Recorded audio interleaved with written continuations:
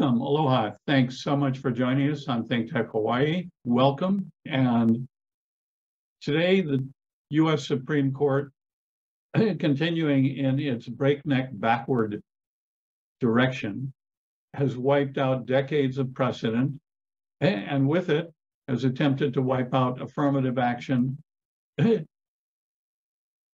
a case in which, at the oral arguments, Justice Clarence Thomas was quoted as saying, diversity, I don't even know what that means. Um, this is not a good sign for people at the top of our judicial system, whatever that may mean.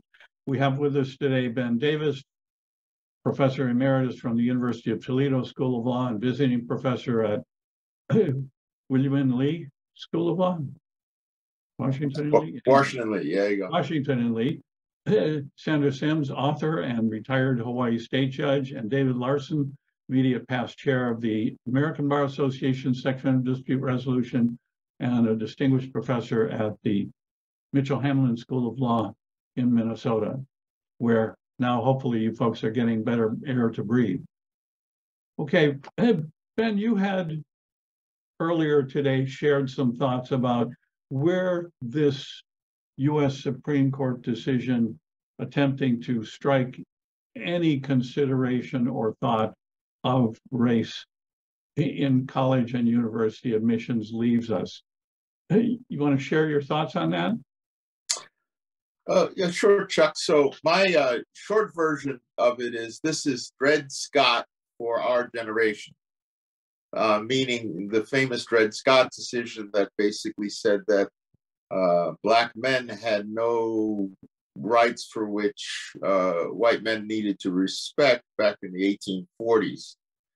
Um, and I say it because the decision is basically saying you can't take race into account as a factor in your admissions policy.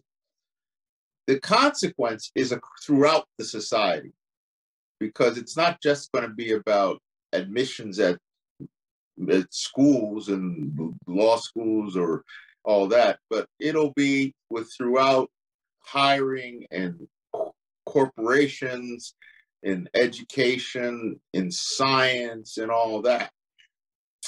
So the hypothetical that I see is this.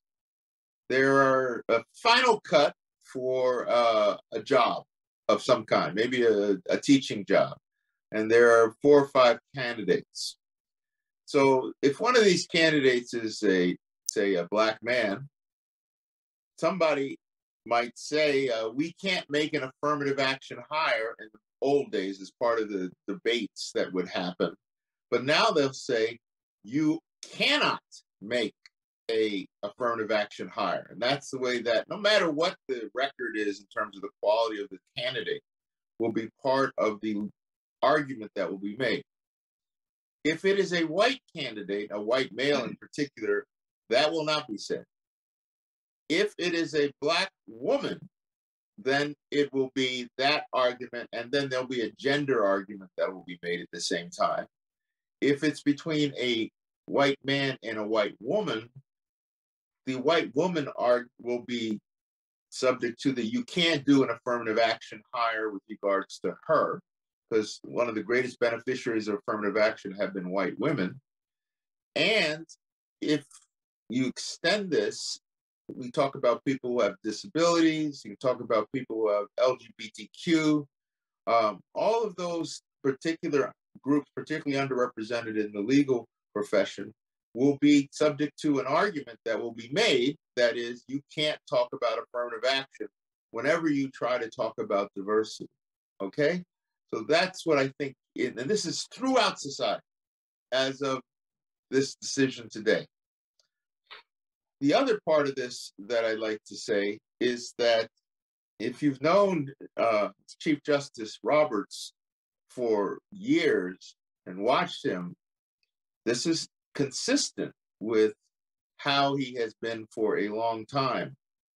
One of the things that always bothered me about his confirmation hearing is that when they're doing the full search of uh, what they've done in the past and all that, he actually wrote a memo on affirmative action that was in the Reagan Library and that was looked at as part of, you know, watching whatever he had done before. Well, mysteriously, that memo disappeared. And the only thing that was left was the notes of the Bush administration people who were vetting him, so to speak, about what he had said in it. Well, I can imagine what that memo said. And it would have been nice to have known about that before his confirmation hearing for Chief Justice. Yeah.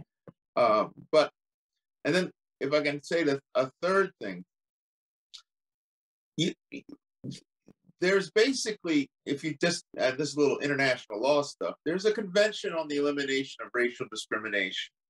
It defines racial discrimination as being both purposeful and by effect. So that even though it may not have been purposeful, the effect is to end up being racial discrimination. That's a problem. That's a breach. And it also says that positive measures to address that can be a, can be done and be in compliance with uh, the, the convention. Thing about this decision is it reifies, reinforces the American resistance to address effect and only focus on intent, intentional racial discrimination. Yeah. And it flips it in the sense that to the extent you talk about race, then you are discriminating by even talking about race as a factor. Now, the consequence of this is said to be lightened up by the fact that a student can talk about their anything in their essays, right? So you imagine the poorest sharecropper kid from the poorest part of Mississippi, having lived a life of discrimination, is applying to Harvard or UNC. They put that in their essay about all that stuff that happened that was tied to their experience, generations of their families having been in sharecropping since the Civil War. Now the admissions office has got to look at that, that thing. But the admissions officer can't take into account race. So they're like That's just, hesitant. that's just, I mean, They're hesitant because they don't want a reprisal from somebody for them having taken into account race while the student has said what they want to do. And so basically what that decision is saying is that, yeah, that's thank you for sharing all that interesting stuff, but we don't care about we don't care. We don't care. We don't care. That's what, So co- it- that's what comes out. That's what's driving, yeah, we don't care. We don't care. Yeah, And I worse, was reading- than that, it may be, it may be saying, we can't assign that any value. Yeah. We have to. It still says I don't care. We have to. It still says I don't care. the history says I don't care. And if you read um, uh, Justice Ketanji Brown Jackson's dissent in this, I think she goes gives an incredibly detailed history of the pervasive kind of racism that is in, integral and a part of this country's history. One of those things that people don't want to talk about, they don't want to acknowledge that it's been pervasive. And at each time, there's been a point at which there's been some advance made in terms of, of, of racial equity. You get this backlash from, she goes from the time of, you know, the ending of the slave trade right through Reconstruction, right through the Jim Crow era, right through World War II, right through the Great Migration, all of that, and detailing in each of those instances, you get this pushback that says, basically to, to, to mostly to blacks and other minorities, we don't want you here. We're not going to let you get that. You're not. We're not going to let you get that far. So we got to change things. You know, whether it's redlining, whether it's housing, whether it's education, um, whether it's being in the military, all of that. And she's got it there. You can't now for those that you know whose feelings are going to be hurt by learning about uh, what this country has done in terms of racism. This is something you can't unsee. If you read her opinion, you can't unsee it. You now know. You can't go back and say, "Well, no, that's that wasn't on me. That was not my family. That was not me." You, you got to see it. And so we have to. I think what we're also kind of seeing. I, I agree with you, Ben, on your observations as well. But we're also kind of seeing this almost this dismantling to some extent of the credibility of the Supreme Court. I mean, that's just it's it's just happening because this has been in place for a, some form of affirmative action in terms of universities has been in place since what, almost 50 years. So we've got a couple of generations of some very highly educated folks who've come through these universities and made tremendous impacts in all areas. There's one, this guy called Barack Obama. Well, no, I don't think he was in uh, affirmative action, but because he came from Punahou. So, so but no, that's not, that's not, that's it. But anyway, but you have that whole generation of folks who come through and who, who are making impacts, not just in the law, but in all areas of society. And, you know, they're, they're, they're, they're kind of not to take this sitting down. And they've got some tools to work with. I know my law school, I'm going to just, and, you hear from David, one of the things that my law school, DePaul was, has asked some of its alumni to participate, and I'm going to be doing that, is something called, they started this last year.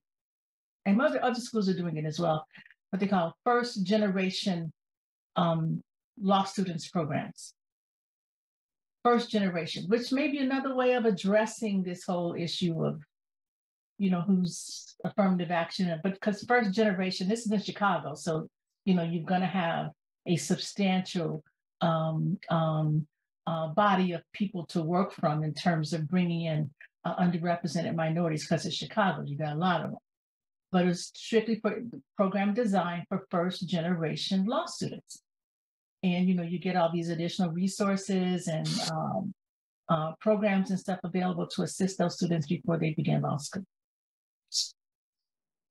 You made me write a check. I did.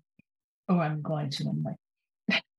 So does this leave us in a spot now where if you have two applicants for admission at a college or university, one is white male and the other one is not, that in order to avoid this kind of reversed trend that the US Supreme Court is proselytizing, the non-white male candidate is going to have to be virtually indisputably more qualified Mhm.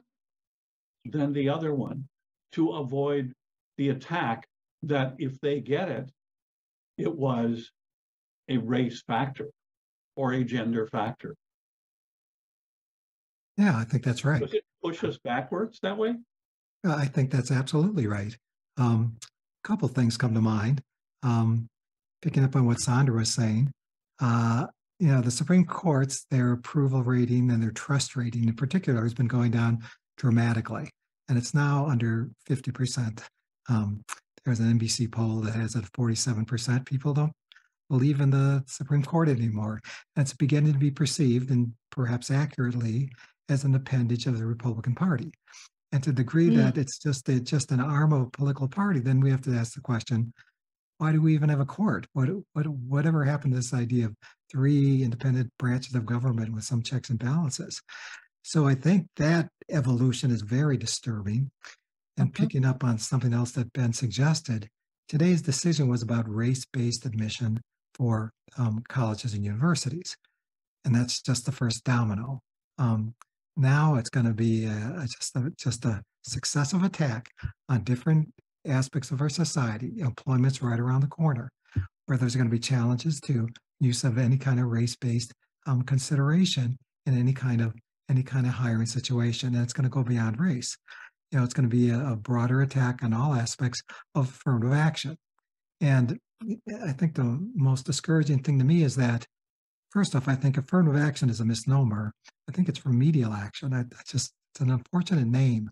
Um, it Mhm. should have been referred to as remedial action because what it really is, it's a response response to cumulative disadvantage. Um, you can start out with inadequate schools and inadequate Right. opportunities at lower education levels, you know, and it just compounds. At a certain point, um, and Lester Thurow once used, I think, a really good metaphor, talked about a foot race.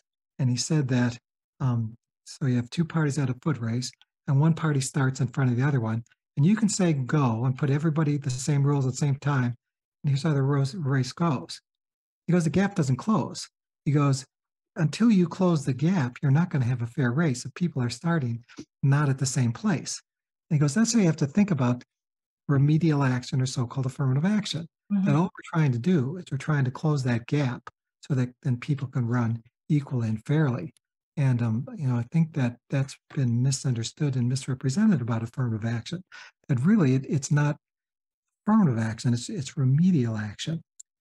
And, uh, you know, where, where does this decision leave us? Well, it's really in an uncomfortable place as somebody working in the university. Because the fear is that even though there's this throwaway language that students, nothing stops students from referring to how their race might have affected their upbringing and their challenges and their inspiration for leadership. There's nothing to stop them from talking about it. The problem is there is something to stop the school from, from thinking about it and Yeah. taking it into consideration. Because uh, what this decision says is you cannot, under any circumstances or conditions, consider race. So if somebody puts that material into their um, application, you have to be very wary about how you're going to respond to that. You know, I think one danger for schools is that now they're going to have discussions about, okay, how can we, they're going to be explicit about how can we get around this decision that says we can't consider race.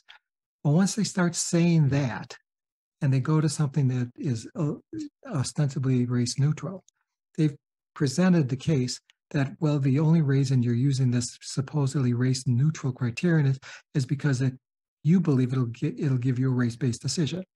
And now you've got, now I've got the evidence I need Yeah. to, Yeah. to challenge your decision-making process. So I think it's a, it's, a it's a, it's a dangerous situation for schools in terms of how they're discussing and positioning themselves. And if they're positioning themselves and starting the discussion as how can we have a race-based decision that won't be challenged under this U.S. Supreme Court case, they're already in trouble. That that can't be their starting position.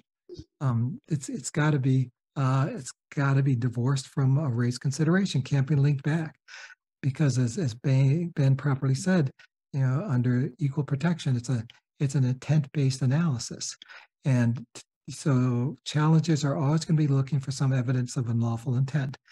And if in your discussions about what your admission policy is going to be, there's some consideration of how I can achieve what we used to achieve in a race-based policy, but not call it that, and you've articulated that, I think Mhm. you've got a problem. Yeah. And I think that's really dangerous and confusing for schools. You know, the other concept, the other thing is that what about the other kinds of affirmative action? You know, what Yeah. about legacy? You know, Legacy. what about what about donors? Athletics, Um, yeah, that's that's apparently all okay.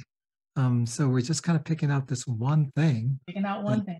that has been clearly problematic through our history. I mean, probably if we survive for for centuries, history will look back, look at the American experiment, and say the one thing, the one thing they really failed at was race. They could not, they could not, Right. they could not make race work. That's going to Did not get define this country. Um, and we're there right now, and we're taking a big step backwards. Uh, it seemed that in many respects, maybe we were moving forward, uh, and today is a, a step backwards. Yeah. Well, So, your um, metaphor raises another question. I'm gonna turn the Yeah. Ben in just one sec here, but it, it- I- I like it because not only is it the head start factor, but this is not a level playing field. Hey, and the runner who starts behind is also facing what appears to now be a much steeper slope uphill. So the race is doubly biased against them because they start behind and because they have a much steeper slope to traverse to be able to reach the same pinnacle of achievement of admission. Yeah, and I don't think anybody ever pretended that that affirmative action was was a perfect solution. No, Um, it was intended to be a temporary solution, Yeah. kind of right a ship that had gone askew, that had gone off course. And uh, so we were going to engage in a policy action for a period of time until we can kind of get back to where we said we started from. I mean, equal protection that assumes that we're all going to be have equal opportunities, and we've never been there, and we're trying to get to that place. Um, and now it's just going to be much more difficult Yeah. to get to that place. That and really, that's where we need a fresh start, and we're, we're not going to be able to get there. there was a comment made by um, President Obama on that same point that it wasn't, this is a sad day, but it wasn't meant to be a permanent solution. uh, the, um, you know, the, the beginnings of a permanent It wasn't meant to be permanent. It was a way to just, as you say, David, address that gap. And there's always been the discussion about when is the gap closed? When is the gap closed? How long do we have to do it? I think that was in one of the decisions. I can't recall which one, but wanting to determine at one point, do we stop and say we've gone far enough? We've done it. And, Right. and I don't, I don't know that that's, I don't know, there's, there's not an answer to that, obviously. Um, Well- but I think it's gonna require, um, again, like with the affirmative action require some creativity on how we address the ways in which we want to have a diverse student body.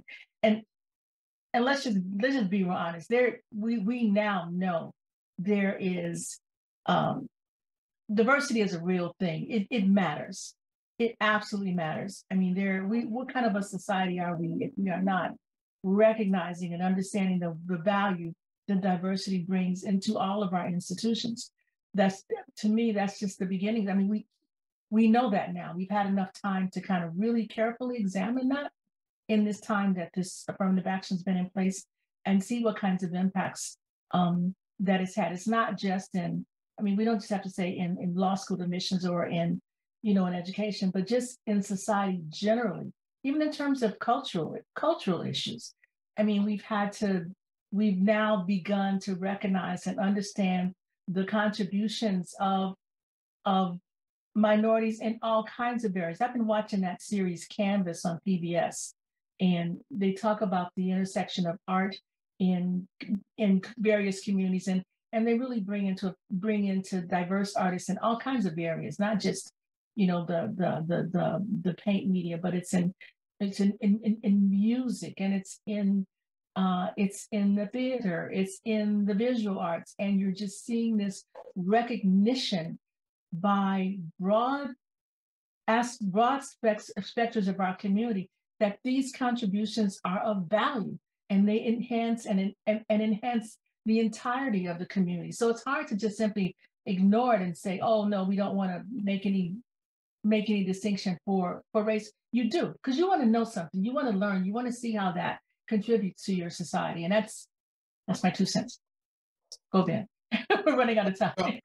So, Ben? uh, what I, what I, what, what I would maybe just add, add to those comments and, and that I agree with them is, um, first, just the impact of diversity. I, I know, I went to my fiftieth reunion Yeah, you were talking. And- yeah, yeah. and, uh, there was a guy, a white guy who had been uh, in my dorm, uh, from Pascagoula, Mississippi, who I saw there, an old friend of mine, and he said to me that just seeing me and being hanging out with me in in in the dorm had betrayed all the myths about black people he'd been taught as a white boy down in Pascagoula growing up.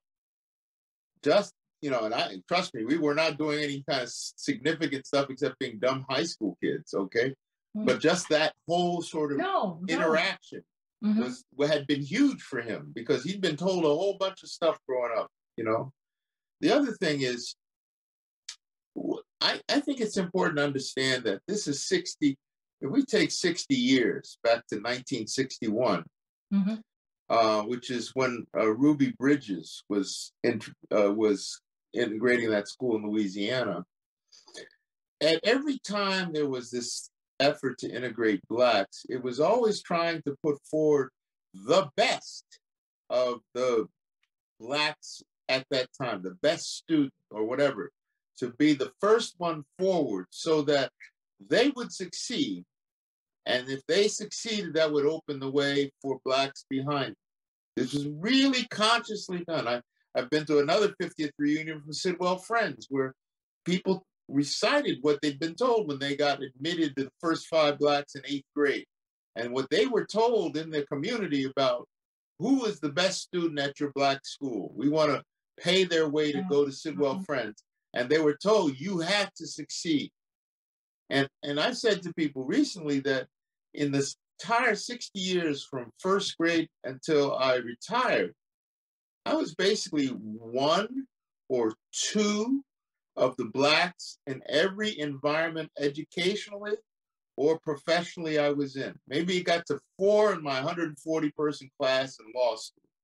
but uh, usually it was just one or two. That's how narrow Mhm. the, the how little the space after 60 years Sixty years. has been, and that's 60 years. And now we, and I always think of affirmative action as being, and I'll say this is my last thing, is basically the American way of trying to do integration on the cheap. Because in Rodriguez, the, the Supreme Court backed away back in the late 60s from saying that education was a fundamental right, because that would have affected the property tax based Yeah. systems Yeah. and all that stuff yeah. and it blinked. So once you don't see that as being fundamental, then you then you got to deal with the inequalities in property taxes, the segregated neighborhoods, all that stuff. You don't have to deal with it. So we're going to put a band-aid on, which is this affirmative action thing, which hopefully will get a few people in without having to change the underlying stuff, without having to change or only move it slowly, you see. And so what happened is that the little band-aid has even been taken off. So we're back to what what was there. And you know, I, my optimism is always that after Dred, Dred Scott, people worked hard to make things better. After Plessy, people worked hard to make things better. After Brown, people worked hard to make things better. After Bakke, people worked hard to make things better. All kinds of people, and you know, and uh, and And people who recognize that, you know, you know, Dobbs, just yeah. recognize after Dobbs. You know, by the way, just a little thing on Dobbs. Dobbs didn't talk about the 250 years of black women in slavery and what they had to deal with with regard to, or couldn't deal with in terms of their Mhm. own uh, uh, bodily bodies. control and But autonomy. they weren't. you They weren't. They weren't people. They weren't human. yeah, yeah, you know, they, they- were people, but they they, they That weren't was the- recognized. you That know? was that was that was a base. That was the underlying premise that you know Right. people. So But I'm saying, you know, in 2022, what a blind spot. I mean, what a blind spot. If you're going to go back to the 13th century and do all your analysis, what a blind spot, you know? So there are a lot of blind spots. Some people say it's race neutral and all that, but it's just blind spots. And the problem is that if you don't want to deal with it, you're still going to have to deal with it. you're gonna have to deal with it. You're gonna have to deal with it, and I think that's what's gonna end up happening. Just like you said, you've given that history of all these other things that occurred. We came back from that. We're coming back from this too. And I think I would suggest to those that are listening that take a moment and read um, Justice um, Ketanji Brown Jackson's dissent. If you don't quite understand why it's even necessary to have affirmative action or to address things in that way, I think she can. That gives you a real clear understanding of of why this was necessary. Yeah, you know, I think the, the other thing that some people struggle with, they, they definitely struggle with, um, and I know they struggle with in Florida because they aren't even allowed to talk about this. They legislated a, a prohibition about it. Is the fact that um, this, when it comes to affirmative action, this paradigm of of sin and innocence has been set up, and that uh, often the the challenge to affirmative action is that why should I be disadvantaged because I'm innocent? Um, I didn't set up those systems. I'm not responsible for this. Mhm. Maybe I don't even know any black people um, because I don't live in that neighborhood. So why should I be subject to this system? You know, I think for any white person to pretend that they haven't benefited from a discriminatory society is just disingenuous. It's just dishonest. It really is. So um, to say that you can't have this affirmative action that might affect me because I'm an innocent person is that you're not being honest about you know what's happened in your genealogy and in Mhm. your life, the benefits that you've had because you're white, and uh, you know all we're trying to do is right the scales. So in our last minute or so, last thoughts, what's the most important thing for us to learn from this? Sandra? I think we're going to have to learn to address and be honest about the impact of institutionalized racism in our society. We cannot unsee it. We cannot turn turn away from it. We have to acknowledge it. And Florida's and other states' um, laws passed to the contrary are just not going to do it because even the students and teachers that are being asked to you know, make these kinds of decisions about what history is going to be taught are rebelling. That's what's going to happen. We can't unsee this. David, Vote. Yep. Vote, get involved with, the support your political candidates, because this decision is a consequence of what the Republicans were able to do by putting through their own candidates. Um, there's only one reason that Barrett's on the bench, and that was for the Dobbs case. That's the only reason she's there. Um, and, uh, you know, pay attention, vote because it has consequences. Yep. and Ben, you started us off. You want to wrap us up? I, I want to uh, encourage us not to despair, but rather always to renew the fight um, out of a sense of duty to perfecting what is what is here. Um, and I, I, I want to say that when you look at the majority and you look at the conflict of interest issues that have risen up with them, they have a lot of dirt they got to clean up because it really stinks. I don't smell any of that over on the on the uh, the center side. I do smell it on the majority side. I'm just going to let you say it like that. And there's a lot of stuff that really, really looks profoundly shocking that uh, it's going to get worked out. I don't know how it's going to work out, but it's going to get worked out. So always keep the faith uh, if, if if if you can, you know, and just understand that uh, you know people are beautiful. There's lots of good people out here. Oh, yeah. Lots Oh, of people absolutely. doing trying to do the right thing, and even if the hoops are made to make you feel complicated and trying to play one group off against the other, that's an old game of divide and conquer. Yeah. But we're all going to get there together if we hold hands. We will get there together if we hold hands. That's exactly right. And that's Agree. uh, maybe a couple takeaways. One, for any and all of us to be really truthful. Our race, our ethnicity, our gender, all of those, they're a critical, critical part of who we are, what we bring to the table, what we have to share, what we have to learn with and from. And second, if we're going to learn to live together, we have to be able to learn together, to work together, Right. Eh, and to live together in all sectors. And anything that gets in the way of that is not true to who we are as different people, each of us. Thank you all. Think Well Tech said. Hawaii, thanks for joining us. Here, Um, And David, let us learn together, let us work together, and let us get past this in the ways that we can as people together. Aloha. Aloha.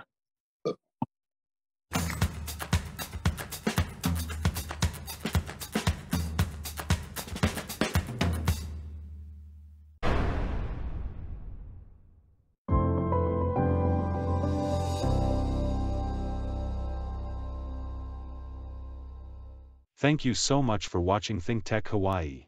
If you like what we do, please click the like and subscribe button on YouTube. You can also follow us on Facebook, Instagram, and LinkedIn. Check out our website, thinktechhawaii.com. Mahalo.